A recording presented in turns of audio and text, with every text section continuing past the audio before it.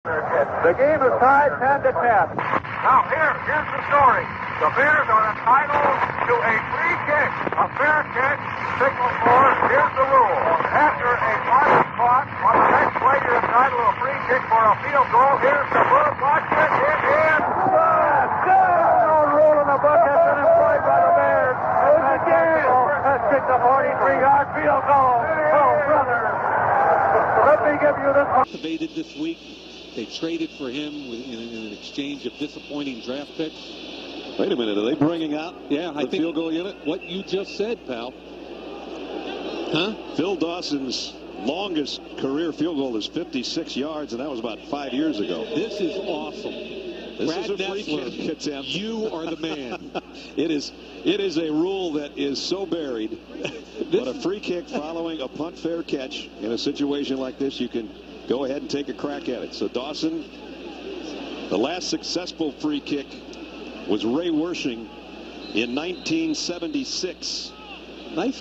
How did you come up with that one? That was my man Pat McGrath on that one. Patrick. I had no idea. This is really. I've never seen one live. The players don't even know the rules. Look at look at the Rams out there. They have no idea what they can or can't do. Right. Their coaches are all sprint It's a fast. free kick. They can't rush. Right. This is completely free. So why not, right? The fans have no clue. Fans are looking around here going, what is this? They're kicking off? Why are they kicking off? Again, it's going to be a 71-yard try on a free kick. This is a great job by Jim Harbaugh and, and by Brad Nessler. And he can run up on this thing like a kickoff. On the way. And wide to the left. Now this can be returned as well. And the Rams are trying it. We've seen a little bit of everything. Pettis brings it back out to the 10-yard line. Pettis did- wasn't even down. Here we go. Mason Crosby from 69 yards out on the free kick. The crowd here at Lambeau's loving this. That is uh, Matt Flynn, the rookie out of LSU, doing the holding. What do you think, Lynchy? Does he get it close? Well, you know, he's going into the wind. He, you know, Mason said right before the game, this is the way the, the, the wind blows in your face, but it's got a chance. Oh, it's just short. Wow, that ended up about three yards short, but an outstanding effort by Mason Crosby. So the free kick from 69 yards out is oh. just that short. So Reach it from 50 yards, 55 yards. Scribner. Fair catch. At midfield. Now he can free kick it from there and they can't rush him. That's what I would do. I would I would take the free kick. In fact, I think they're going to do it.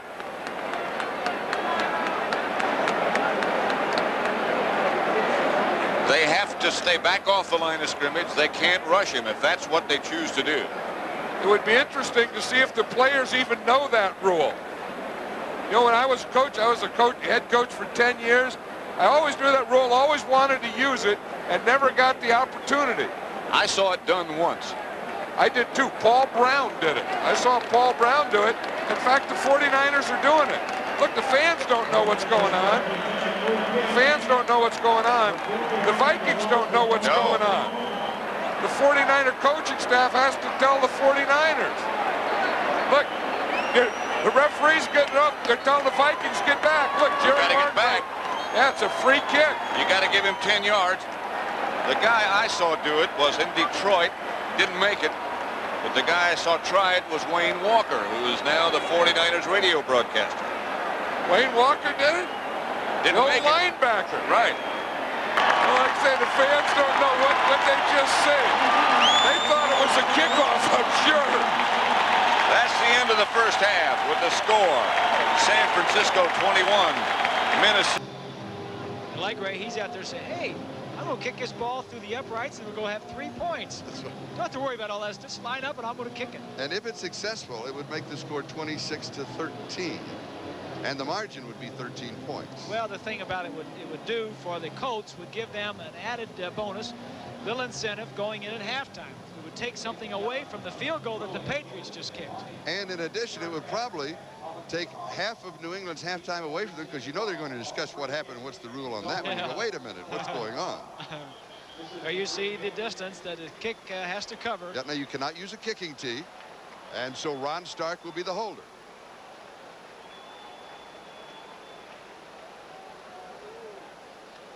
And interesting, the Colts knew part of it. They knew that they could have a field goal attempt. They didn't know that they could be here without a snap. It's going to be 61 yards. Yep. Placed on the 49-yard line, the 10 yards of the end zone. Now this is within his range. A lot of times the, the kickers will kick off. No, he can. He, he's only going to be able to take his uh, normal steps. See, that's all he wants to. He can take whatever he wants to. This he's very comfortable with here.